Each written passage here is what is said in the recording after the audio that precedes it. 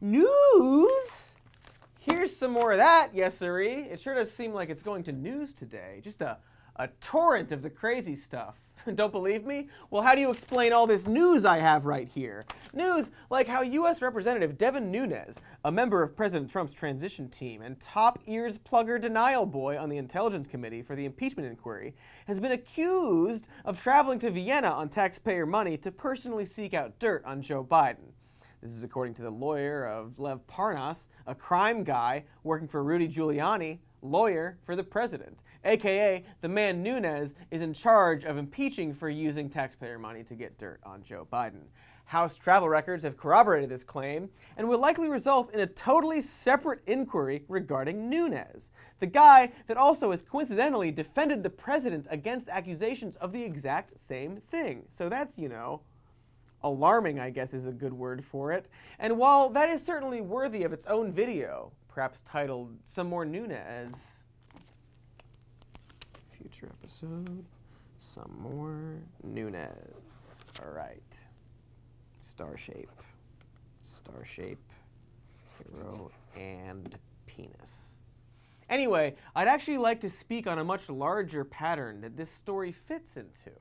Specifically, how there sure seems like a lot of people in Donald Trump's circle of support that end up having their entire careers snuffed harder than a hamster in a kindergarten class.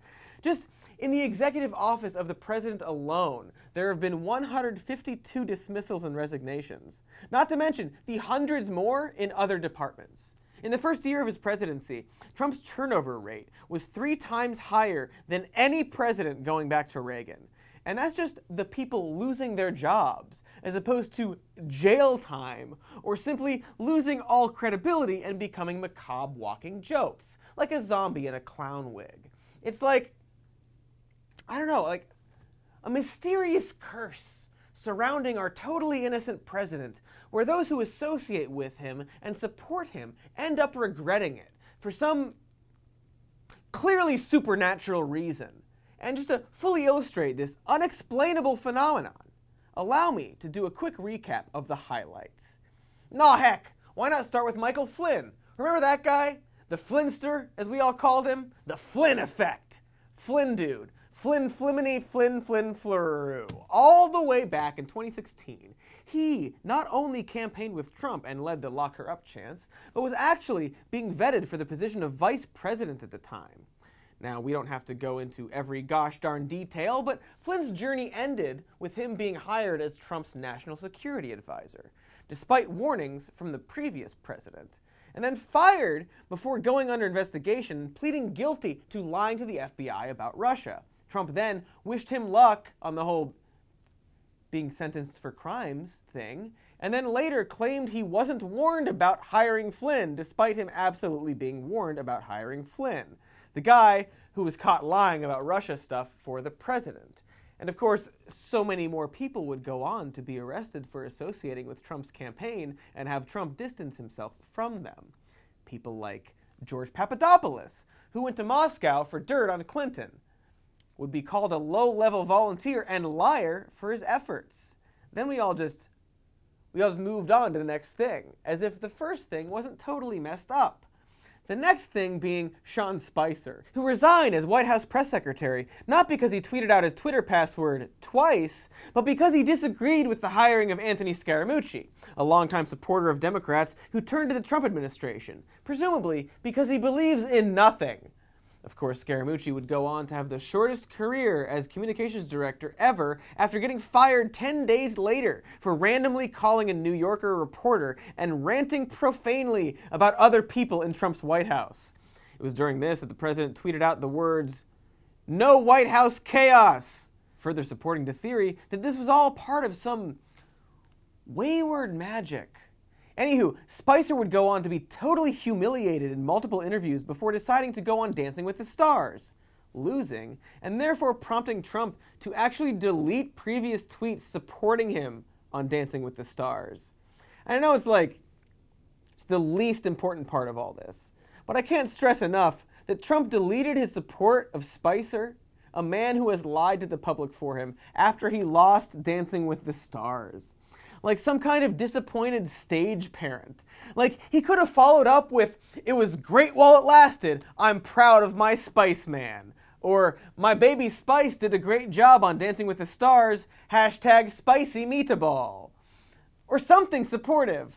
But now we know exactly how willing Trump is to throw people under the bus to save face. He will fucking disown you if you lose a reality show dancing contest.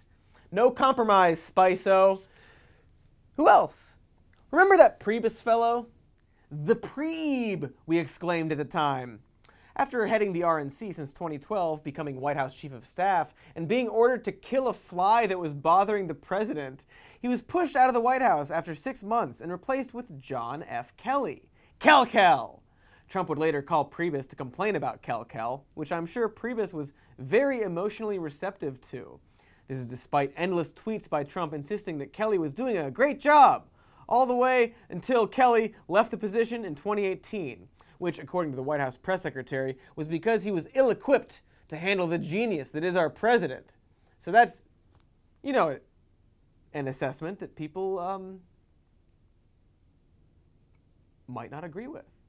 Seems dubious, is what this guy is thinking. Then there's Rex Tillerson, of course, the T Rex, who got fired via tweet by Trump. Like, that was literally how he learned he was fired.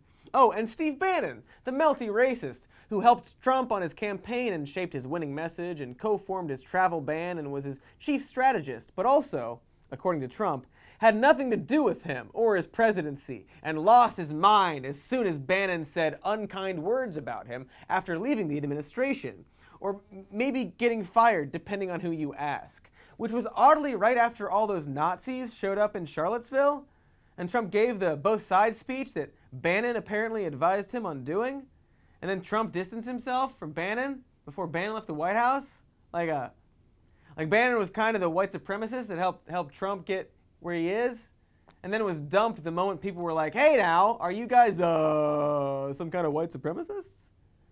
There's much more, of course, like when Jeff Sessions, a guy who supported Trump since before the primaries, recused himself from the Russia investigation, so Trump called him weak and later forced him to resign. And Michael Cohen, currently serving three years, who was once Trump's special counsel and fixer who had an office in Trump Tower, who Trump immediately distanced himself from and called a liar the moment he was caught violating campaign finance laws by paying off a woman that Trump had slept with for Trump. And of course, it wasn't enough to take Cohen down because the investigation revealed that Sean Hannity was also using his services as a lawyer, further spraying the on more people who had defended the president. He's like a terrible roommate that talks big at first, tells you he's, he's your best buddy, and then secretly pisses in your shampoo bottles the moment you complain about his dirty dishes. Everyone who tries to help him either gets fired for not doing the illegal things he wants or does the illegal thing he wants and gets pushed away the moment you get caught. It's probably why Trump loves having acting people in these positions, saying, I like having non permanent to a certain extent. It gives me more flexibility. I like having acting. You know, because of the mysterious curse, of course. That weird curse where if you support Trump, you almost always end up getting screwed over by reasons. Also, that weird curse that makes you talk like no other human ever and say things like, I like having non permanent. I like having acting. You weirdo. So now that we're on to the impeachment inquiry, Devin Nunes is probably next. And of course, there's Giuliani and those crime guys that work for him that have pictures meeting with Trump, but Trump totally doesn't know. In fact, according to Trump, Giuliani, his lawyer, might not even be his lawyer. You know, depending on how things go with him. Man who says he has insurance against Trump in case he throws him under the bus. An apparently sarcastic comment, you know, like like MTV's Daria, some real sass that crime lawyer has when he speaks of having insurance against the president in case that president ever tries to implicate him in crimes. The insurance against Trump apparently being information damaging to Trump's political opponent. So, exactly how insurance works. Rick Perry is clearly on the dicking block as well, as Trump has blamed him for the call with Ukraine, despite having also said, Rick Perry, watch him. He's a comer. Which would probably explain why Perry, an alleged comer, has now gone on record calling Trump God's chosen one. Because as we learned from Marie Yovanovitch's testimony, describing advice she got from Gordon Sondland, the best recommendation when Trump is mad at you is to publicly praise him so you don't get screwed. But we'll probably get screwed anyway. Suck that golden rod, suck it good, lest you be cast from the kingdom of God's very special genius man. Oh, right, Gordon Sondland is a person as well. After he gave testimony implicating our beloved president, the Trumpster claimed that he doesn't know him very well, despite there being, like, way too much evidence showing that he was frequently in contact with Trump and, uh, you know, appointed by Trump after giving a million dollars to Trump's inauguration. This is now the pattern with every new scandal. Trump orders people to do crimes for him for as long as they can get away with it, before cutting them off the moment things go bad and somehow getting away untouched. He's like, he's like Keyser Soze, in that he is also played by a sex criminal.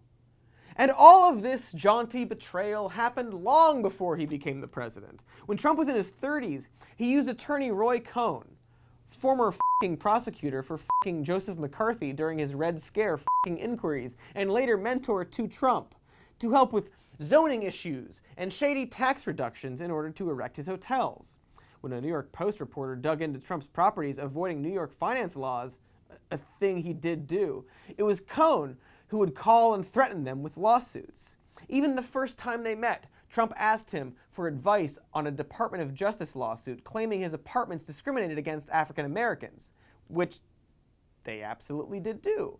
This was a close business relationship, Cohn being the guy who would later introduce Trump to Roger Stone, uh, no, another criminal that was thrown under the bus. But as Cohn got more and more entangled and was indicted for unrelated acts of extortion and blackmail and conspiracy and securities fraud, Trump slowly downplayed his association with him for, for some reason.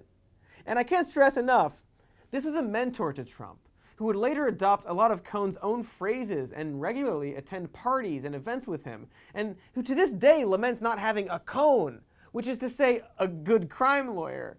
But anyway, this continued until the early 80s, when rumors traveled that Cohn had contracted AIDS. And according to Cohn's personal secretary, Trump dropped him like a hot potato.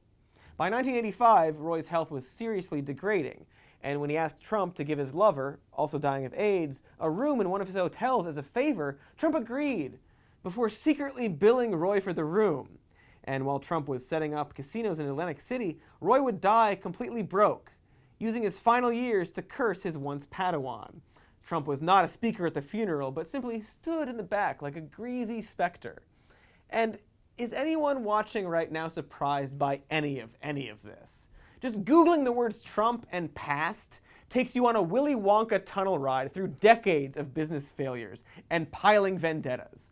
Those Atlantic City casinos like the Taj Mahal, you know, the one he called the eighth wonder of the world before it went down like a flaming eagle. That all started when Trump claimed at a licensing hearing that he would avoid junk bonds in order to fund the project, before immediately turning to those junk bonds when he was approved. The casino was then suspected of money laundering used for mobsters after it opened, and filing Chapter 11 a year after that. It finally died in 2016 after the workers went on strike because they weren't getting health care. This is just regular business and personal stuff for Trump, the man who touches things, and then those things suddenly explode for some reason that must be a curse. He has a very real paper trail of skipping bills, not paying taxes, and suing friends because of personal grievances. There are 60 lawsuits concerning contractors and employees who Trump simply didn't pay. A cabinet builder for the registration desks at Trump Plaza, out $83,600.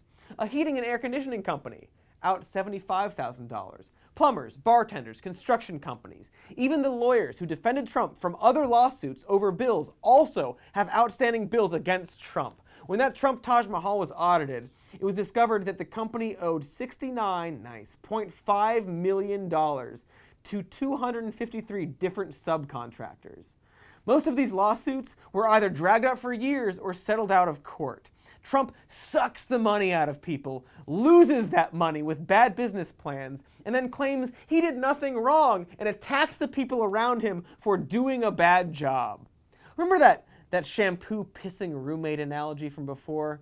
Well, this is how that roommate claims that all the other roommates he's ever had are always jerks, without wondering what that common factor is. Trump is a vindictive money black hole.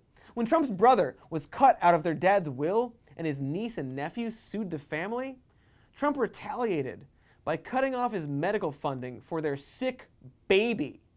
Not hearsay, but according to an interview with Trump where he said, I was angry because they sued.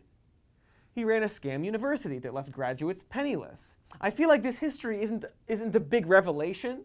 This history being that Trump is chronically a bad person, leaving an endless trail of burning bridges. But not just any bad person, a bad person who specifically ruins the lives of people who go out of their way to support him. No better symbolism of this is the fact that his campaign trail has left over a million dollars in outstanding bills in the cities he visits. And that's the big hurt here. Because now that Trump runs the country, he's going to operate the country the same way he operates his businesses. Something he claimed he would do, which means backstabbing the people who help and support him. You know, like, like the Kurds. And side note, when his Secretary of Defense resigned over Trump's plan to pull out of Syria, Trump later claimed he fired him and called him overrated. And along with Syria, there's the Trans Pacific Partnership and the Paris Climate Accord, the Iran nuclear deal. He is us now. We are him. The scumbag country reneging on promises and not paying bills. And I know you're all aware of a lot of this and angry to hear it. And now you're about to get more angry because the one group of people that doesn't feel like Trump screwed them over is his supporters. Despite the fact that Trump is totally not acting in their best interest, he's very good at giving the perception that he's kept his campaign promises. Because for a lot of them, he has. He got them their Supreme Court nominee. Pulling out of the Paris climate deal was something he ran on. He wanted to cut corporate taxes and then did that thing. Doesn't matter if those things were effective or good. He said he would do them and then did them.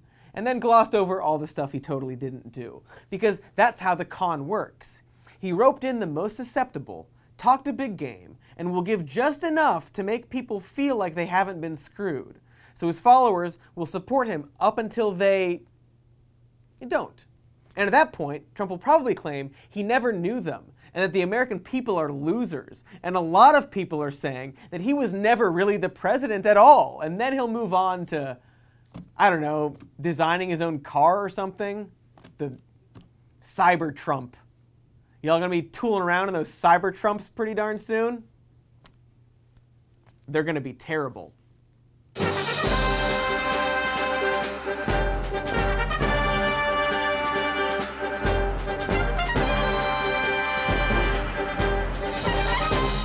500 grand for a cyber Trump. What's up, my beautiful babies? Thank you so much for watching that video. Please like and subscribe and do all the other YouTube stuff. Check us out on patreon.com slash some more news if you'd like to support us. And we've got a podcast called Even More News. And that's the end. Why wouldn't you, why, what? Hey, hi.